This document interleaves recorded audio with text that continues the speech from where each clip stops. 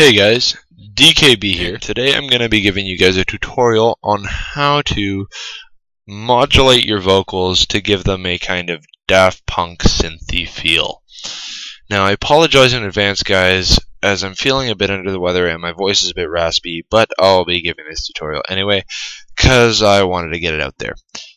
Um, alright, so we're going to be using FL Studios for this one and we're also beginning, going to be using Vocodex. So the first thing you want to do, obviously, is find a vocal to use. So let's pop down here. Let's go to vocals. Um,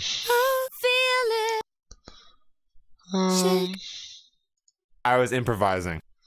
uh, It's a smash hit. We need a beat. oh no, we could we could a use that. smash hit. So typically, you don't want your vocals to be too long, since they're sounding synthy. It will start to sound a bit um, a bit kind of distorted, unless of course you're using it for like a bass line or something. Then, then it might be alright. But anyway, so first thing you're gonna want to do is take your vocal and It's a smash put it into your playlist. So once it's in the playlist, it's automatically going to make a channel on the sequencer. So give that a click and make sure that the FX channel the on the on the um, for the mixer is at one. So set that to one. Now that that's on the playlist, I'd name this uh uh, probably vocal. Hit that enter. Now what you're going to want to do is you're going to want to make a second pattern and call that synth. Bad typing today. Uh, so, synth. Now, obviously, you're going to put your synth in there. So, typically, I like to use either Nexus or um, or Sytrus. Uh, I'm going to use Sytrus just for this example, just to kind of show you. It, it's really this is going to be a really basic one, and then I'll, I'll do a quick little thing of Nexus just to show you what it what what it can really do. Um, so first thing you're going to want to do is make a sine, uh, either like a Saw sine wave. Uh, so I'll I'll just do a saw wave. There we go. And it's gonna give like a sharp kind of kind of sound really crisp, really sharp. So from there, now that we have that in our uh, in our sequencer, we're gonna want to put it on the piano roll. So we're gonna put a piano roll. So as you can hear, right? So now you're gonna what you're gonna want to do. You're gonna want to try to make it the one note, or you could do multiple ones. I'll show you that after try to make it the same length as the vocal. So if we pop up back into the piano roll here, we'll probably it looks like it's about a bar. So if we pop that out to about there, we open that up and we paste it.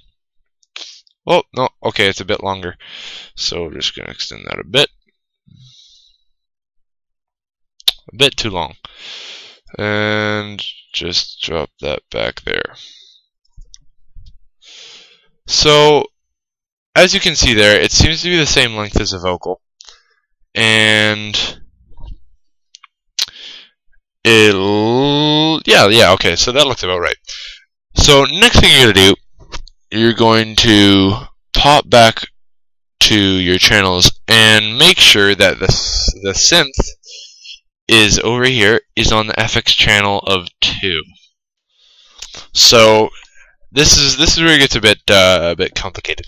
So you're gonna head over to your mixer, and you'll notice that you have your master your insert, and because you already set the FX the FX channels to the mixer, they they will already they already be programmed to it.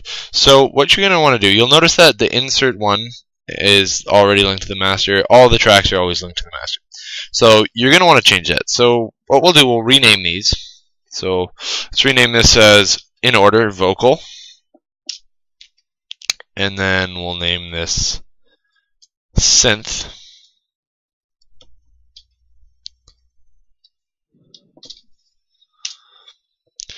And then lastly, you're going to want to make a uh, one called vocoder. obviously they you don't have to name them. I just do it to reduce kind of confusion when I'm making these. So you now have your vocal linked to your vocal on the mixer and your synth linked to your synth. Now, what you want to do, you want to link both the vocal and the synth to the vocoder. So you're going to take the vocal, you're going to take the take it off of the mix master and put it onto the vocoder. You're going to do the same with the synth. You're going to take it off the master, you're going to put it onto the vocoder. So now that you've done that, open up the vocoder. Well, hold up. Before I do that, just here's what here's what the vocal sounds like, uh, straight up. It's a smash hit. Smash hit. So you'll notice that they're playing over top of each other instead of playing together. Now, if I silence this, It's a smash hit. right, and then if I silence this one, now we're gonna have them play together, but also modulate each other. So we're gonna take our mixer again, and we're gonna open up vocoder in the vocoder uh, mixer channel. So we're gonna pop up vocoder here. There we go. Now what you're going to want to do, you're going to set the modulator and the carrier to the channels that you want them to. When I originally did this, I actually thought it was the the synth was the modulator and the carrier was the vocal, but I, I actually had that wrong. It was the the vocal is the modulator and the carrier is the synth. So luckily this is already synced. So the synced. So the modulator is at the carrier one, but you uh, I mean uh, the modulator is at uh, the mixer channel one, and the carrier hasn't been set yet, but you're going to want to set that to the mixer channel two. So from there, you now have it so it's linked to. I, I, I just turn those off. Really, I, I don't know what they do. I'm not that biggie. I don't really know that much about Vocodex, but I know roughly how it works.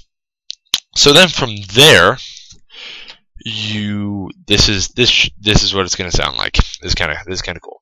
If you hit that play button. It's a smash hit. It's a smash hit.